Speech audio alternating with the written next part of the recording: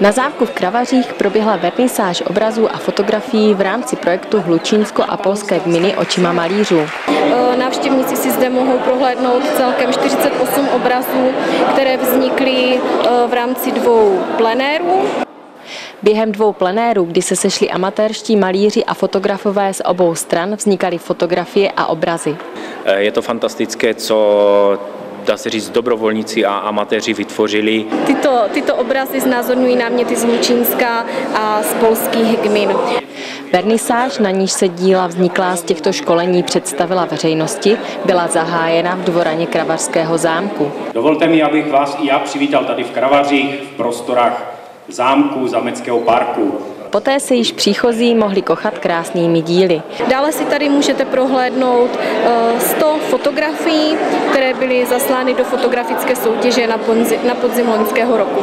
Mezi fotografiemi mohli obdivovat záběry přírody, sportovců či různých zátiší. Já jsem překvapený, protože to nejsou profesionálové v tom pravém slova smyslu a je tady velký posun. To jsem říkal tady kolegům.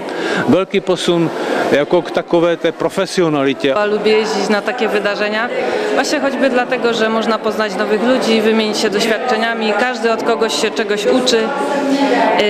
I później no, to jest tak, że to się na tym plenerze nie kończy, że potem dalej się spotykamy, malujemy razem, czy gdzieś wyjeżdżamy i na tym to właśnie polega. Było fajnie, spotkaliśmy dużo ciekawych ludzi, z którymi można było się wymienić doświadczeniami. Ja akurat brałem udział i przy tych fotografach i wśród malarzy byłem jedynym, który robił i jedno i drugie. Tak určitě je to krásné, krásné i v tom setkávání těch umělců, malířů, že se tady vzájemně poznáme a můžeme tvořit dál a získávat, předávat si zkušenosti vzájemně určitě. Všichni, kdo to navštívili, toto obdivovali, protože každý obraz, každá fotografie má své taky kouzlo a vždycky se zamyslíte nad tím, jak ten člověk asi se na to díval, když to maloval, s jakým pocitem to dělal a to umění, které je v něm, vlastně zvětšil tady na tomto plátně či fotografii. Myslím si, že tato akce a vůbec ty, ty, ty díla, které jsou, jsou zde vystavena, si zaslouží to největší absolutorium. E, jenom, jenom je třeba o nich hovořit jenom v superlativech, protože si myslím, že to, že to jsou díla amatérů, e, není, není vůbec poznání a myslím si, že zaslouží, zaslouží to nejvyšší uznání to, že ti, ti lidé tomu vědovali tolik času a vytvořili to, nad čím, jak se říká, srdce člověka musí plesat. Perfektní ta výstava, jak malované obrazy, tak vlastně i ty fotografie jako živé. Jo. Připomíná to vlastně i takový tím uměleckým pohledem jako krásnou dobu. Moc hezké je to. Mám radost z toho, že výsledky obou projektů jsou výborné.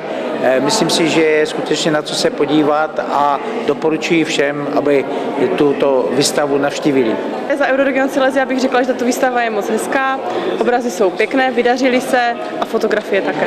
Jsem určitě ráda, že je zájem o tuto akci. Myslím si, že je to i díky pěknému počasí. Přišli vlastně jak fotografové, kteří zde mají své fotografie, tak samozřejmě všichni malíři, starostové, takže jsem určitě ráda, že se všem obrazy a fotografie líbí a že na tuto akci přišli.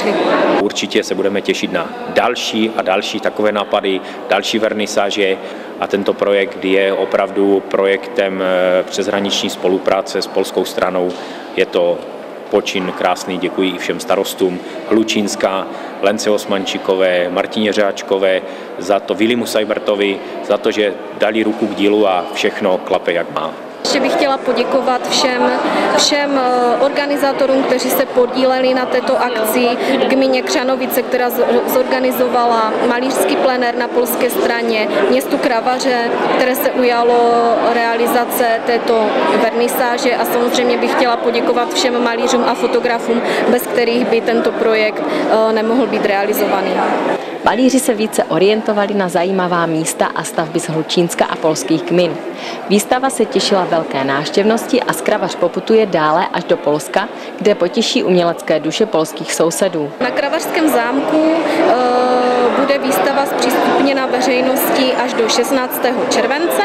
Poté se přesune do Červeného kostela v Hlučíně, kde bude od 18. do 31. července. Pro zájemce bylo poté ve dvoraně zámku připraveno představení nového mapového portálu a aplikace pro chytré telefony. Toto vzniklo z projektu Česko-polské historie na mapě regionu Hlučínska a polských partnerských kmin. Jedná se o mapový program s vyznačenými body zájmu a QR kódy na všech označených místech. I tento projekt si získal velkou přízeň, o čem svědčila plná dvorana Kravařského zámku. Musím poděkovat samozřejmě našim zaměstnancům oddělení kultury, kteří se zasadili o to, aby to vypadalo tak, jak to vypadá.